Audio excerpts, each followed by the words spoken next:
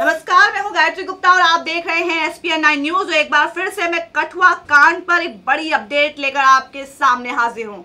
जी हाँ बड़ी अपडेट ये है कि आरोपियों को लेकर जो आज पेशी हुई थी, आरोपियों की आज कोर्ट में पेशी हुई और कोर्ट ने आगामी 28 अप्रैल तक इस केस को टाल दिया है, यानी कि 28 अप्रैल को, आगामी 28 अप्रैल को इस केस की सुनवाई होगी। तो वहीं नाबालिग जो इसमें आरोपी है, एक नाबालिग आरोपी का भी ज़िक्र किया जा रहा है, उसकी पेशी आगामी 24 अप्रैल को होगी कोर्ट में। तो ये थी बड़ी अपडेट। अब बात करूँगी आरोपी दीपक खजूरिया को लेकर, जो कि जिस पर यह इल्ज़ाम है कि जब पीड़ित बच्ची, यानी परी, जो कि अब इस दुनिया में नहीं है, परी को मारने से पहले इस शख्स ने बहुत ही गंदे शब्द कहे थे उसके खिलाफ और कहा था कि मारने से पहले मैं इसके साथ गंदा काम कर लेता हूँ।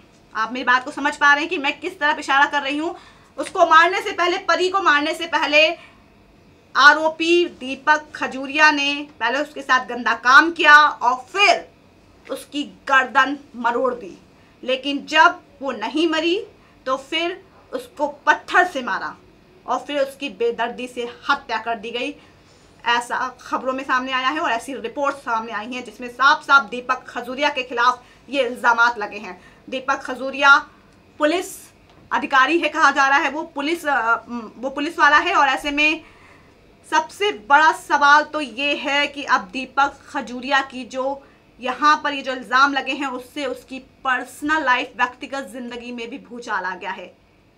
आप ज़रा सोचिए कि अगर किसी की शादी होने वाली हो और जिस शख्स से उसकी शादी होने वाली हो यहाँ सिर्फ़ मैं अभी एक लड़की का ज़िक्र कर रही हूँ और उसे पता चले कि जिससे उसकी सगा, सगाई हो गई है और शादी होने में कुछ ही दिनों का फासला है और उसके बारे में सुनने को मिलता है कि उसने इतना घटिया कांड किया है उसने इस तरह से नीच काम किया है तो क्या वो लड़की उससे शादी करेगी?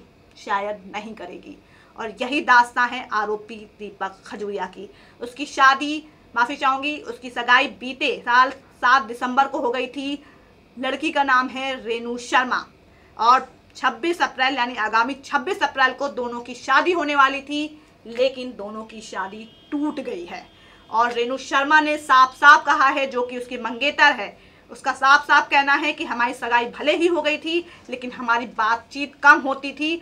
लेकिन मुझे दीपक बहुत अच्छा लगता था। दीपक बहुत अच्छा पुलिस वाला है। ये कहा है रेनू शर्मा ने। लेकिन हाँ उसने ये भी कहा है कि मैं आँख में आँख डाल कर दीपक से पूछूँगी कि उसने गुनाह किया है या नहीं। अगर नहीं किया है तो मैं उसका इंतज़ार करूँगी। अगर किया है तो मैं उसकी शक्ल तक नहीं देखूँगी और मैं अपने घर वालों से कहूँगी कि वो मेरे लिए कोई दूसरा लड़का ढूंढना शुरू कर दें। लेकिन फ़िलहाल यहाँ पर दोनों की शादी टूट गई है और रेणु शर्मा ने यह भी साफ़ साफ़ कहा है कि मुझे पता है कि दीपक मुझसे झूठ नहीं बोलेगा। मैं आपको खबर दिखाऊँगी। आप यहाँ, ये हेडलाइन पे गौर करिएगा। कठुआ गैंगरेप आरोपी पुलिस वाले की मंगेतर बोली, आँखों में आँखें डालकर पूछूँगी, गुनाह किया है या नहीं? शर्मा, यानी कि रेणु शर्मा ने कहा, मैं उससे केवल एक बार ही मिली हूँ। वो भी दूर से ही हमारी सगाई वाले दिन, लेकिन हम फ़ोन पर बात करते थे। मुझे वो कभी ऐसा नहीं लगा जैसा बताया जा रहा है। उसने एक बार मुझसे कहा था कि हम वीडियो चैट करेंगे, लेकिन जब मैंने मना कर दिया तो उसने मुझे इसके लिए मजबूर नहीं किया। ये देखिए, रेणु शर्मा 24 साल की उनकी उम्र बताई जा रही है। और मैं उसकी आँखों में आँखें डालकर पूछूँगी कि गुनाह किया है या नहीं। और शर्मा ने कहा है कि मैं जानती हूँ, मुझे सच बताएगा, अगर वो मना करता है तो मैं उसके लिए, उसका इंतज़ार करूँगी, लेकिन अगर वो कबूल करता है कि उसने गुनाह किया है तो अपने घर वालों को कहूँगी, कोई और जीवन साथी ढूंढे। और इसके बाद उसने कहा है कि मैं एक बार ही मिली हूँ सगाई के दिन, लेकिन मैंने उसको ढंग से, हम, हमारी कोई बातचीत नहीं हुई है। इसके अलावा ये देखिए, यहाँ पर उसने बोला है कि सच हम, लेकिन जब मैंने मना कर दिया तो उसने मुझे इस केस के लिए मजबूर नहीं किया। मैं जो सच्चाई नहीं जानती हूँ, सच केवल तभी बाहर आएगा जब सीबीआई इस केस की जाँच करेगी, पूरी जाँच कर लेगी इस मामले पर आरोपी दीपक खजूरिया की माँ। दर्शन देवी ने कहा कि मुझे नहीं लगता कि रेणुका से जेल में जाकर मिलना ठीक होगा। मैं खुद भी अपने बेटे से मिलने नहीं गई हूँ। अब ये देखिए, क्या है इस पे आरोप, वो आपको बताती हूँ। खजूरिया ही वो आरोपी है जिसने आठ, जो बच जो परी है, जो पीड़िता थी जो अब इस दुनिया में नहीं है, उसने अन्य आरोपियों से कहा था कि एक बार मुझे आप पढ़ लीजिए, आप पढ़ सकते हैं यहाँ पर साफ़ साफ़ मुझे रेप करने की इजाज़त दो।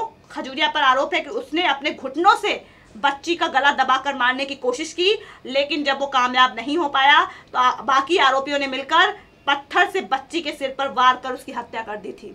ये है दीपक खजूरिया पर लगा हुआ इल्ज़ाम। इसके अलावा बताऊँगी आपको कि दीपक खजूरिया का क्या है बैकग्राउंड। ये देख सकते हैं आप आप। सीबीआई इस मामले की जाँच जो मैंने आपको आपको बता दिया दीपक खजूरिया ने हीरा नगर पुलिस स्टे, पुलिस स्टेशन से चार साल पहले ही बतौर स्पेशल पुलिस ऑफिसर पुलिस की नौकरी शुरू कर दी थी और दीपक मासूम के साथ दुष्कर्म करने का आरोपी है और उसे गिरफ़्तार करने के साथ साथ पुलिस डिपार्टमेंट से बर्खास्त कर दिया गया है। ये है पूरा मामला और क्या किया है महबूबा मुफ्ती ने, वो भी आप जान लीजिए। इस मामले की सुनवाई के लिए जम्मू कश्मीर उच्च न्यायालय के मुख्य न्यायाधीश को पत्र लिखकर फास्ट ट्रैक कोर्ट गठित करने का अनुरोध किया गया है और जो सूत्रों ने जानकारी दी है कि मुख्यमंत्री ने इस मामले में मुख्य न्यायाधीश से फास्ट ट्रैक कोर्ट गठित करने का अनुरोध किया है। उन्होंने बताया बताया है कि कोर्ट नब्बे दिनों में मामले की सुनवाई पूरी कर लेगी और राज्य में ये इस तरह की पहली अदालत होगी।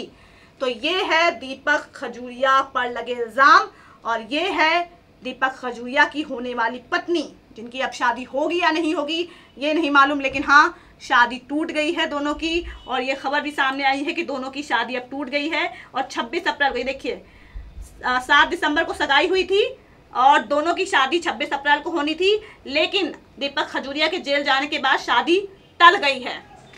शादी टल गई है, शादी टूटी नहीं है, लेकिन अगर यहाँ पर आरोप साबित हो जाते हैं तो यानी कि समझिए, कहीं ना कहीं जो उसकी मंगेतर है, वो शादी तोड़ देंगी।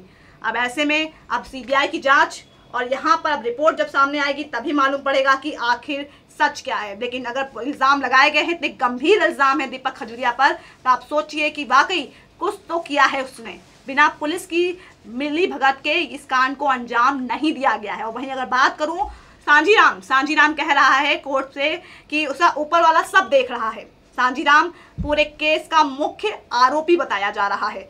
तो वहीं अगर बात करूँ सांझीराम की बेटी की तो सांझीराम की बेटी ने बकायदा मीडिया को आज धमकी दी है कि मीडिया बिका हुआ है। वो बच्चे के इंसाफ की बात कर रही हैं, लेकिन उन्हें साफ़ साफ़ कहा कि मीडिया बिका हुआ है और अगर ऐसा काम करना है, ऐसी कवरेज करनी है तो जम्मू में दोबारा कदम मत रखना। ये साफ़ साफ़ सांझी राम की बेटी ने बीच सड़क पर मीडिया को धमकी देते हुए कहा है। उन्होंने कहा है कि मीडिया बिक गई है, मीडिया और केसेस को क्यों नहीं इतना उजागर करती है? हम तीन महीने के लिए जिस चीज़ के लिए भटक रहे हैं, उसको मीडिया ने क्यों नहीं दिखाया? इसके साथ ही बेटी का साफ़ साफ़ ये कहना है कि उनके पिता को फंसाया जा रहा है। बेटी के साथ, बच्ची के साथ कोई दुष्कर्म नहीं हुआ, उसकी हत्या करवाई गई है। ये कहना है सांझीराम की बेटी का। चलिए, अब आप बात करते हैं लाल सिंह की, चौधरी लाल सिंह। चौधरी लाल सिंह वो शख्स हैं जिन्होंने इस केस के आरोपियों का साथ दिया। उनके समर्थन में जो कुछ किया गया, उसमें वहाँ उन्होंने पूरी अपनी भागीदारी निभाई। उन्होंने साफ़ साफ़ कहा कि हाँ हाँ उन्होंने ये ये कबूल किया है कि हाँ वो उन्होंने समर्थन दिया और महबूबा मुफ्ती ने उनका अब इस्तीफा स्वीकार कर लिया है। भाजपा के मंत्री हैं ये ये एक है चौधरी लाल सिंह और दूसरा नाम है चंद्र प्रकाश गंगा का। दोनों एमएलए हैं, भाजपा विधायक हैं, पीडीपी और बीजेपी अलायंस में और ऐसे में बीजेपी के विधायक हैं वहाँ से जम्मू में और दोनों मंत्रियों ने इस्तीफा दे दिया है। उनका इस्तीफा स्वीकार भी कर लिया गया है। मीडिया ने जब इनसे बात की लाल सिंह से तो लाल सिंह से जब मीडिया ने सवाल पूछा कि सीबीआई इंक्वायरी सीबीआई इंक्वायरी क्यों नहीं की जा रही है तो इस पर लाल सिंह ने अलगाववादियों पर आरोप मरते हुए एक बड़ा बयान दिया है। आप सुनिए उन्होंने क्या कहा है। वेरी क्लियर और लोगों को कभी भी गलत किसी चक्कर में फंसने आपने कहा है? सीबीआई मांग सीबीआई बोला आख्या में। सीबीआई होनी चाहिए। क्या होनी चाहिए sir? CBI inquiry thank you उस बच्ची को इंसाफ मिलना चाहिए। तो सुना आपने लाल सिंह क्या कह रहे हैं? उनका कहना है साफ़ साफ़ कि बच्ची को इंसाफ मिलना चाहिए और मैं खुद भी कह रहा हूँ सीबीआई जाँच की जाए और सीबीआई कभी भी पक्षपात वाली जाँच नहीं करती है। सीबीआई की जाँच हमेशा सही होती है। इसके बाद जब उनसे पूछा गया उनसे जब पूछा गया कि इंसाफ पर माफ़ी चाहूँगी इस्तीफे पर बलि का बकरा तो नहीं आपको बनाया गया? तो साथ ही क्या आपको बलि का बकरा बनाया गया है पार्टी की तरफ़ से? तो ऐसे में उन्होंने कहा मैं मर्द हूँ इंसान हूँ। और भी कुछ कहा है? सुनिए आप जरा। ये इस्तीफा आपने अपनी मर्ज़ी से दिया है और आपका ये भी कहना है कि आपको पार्टी ने वहाँ पर भेजा था। बिल्कुल पार्टी ने भेजा अभी कहो साथ जी हमारे प्रेसिडेंट है उन्होंने भेजा।